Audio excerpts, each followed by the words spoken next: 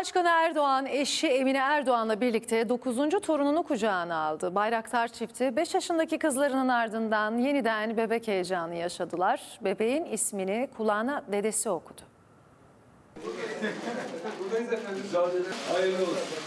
Torununun kulağına adını okudu, 9. kez dede oldu. Sümeyye Selçuk Bayraktar çiftinin ikinci çocukları Asım Özdemir dünyaya gözlerini açtı.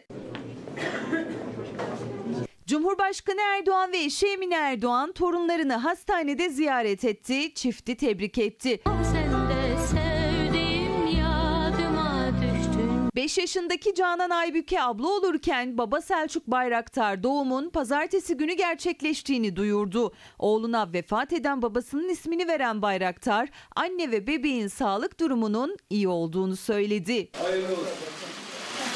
Ailenin yeni üyesi çiftin yakınlarını heyecanlandırırken Cumhurbaşkanı Erdoğan'ın Esra Berat Albayrak çiftinden 4, Bilal Reyyan Erdoğan çiftinden de 3 torunu bulunuyor.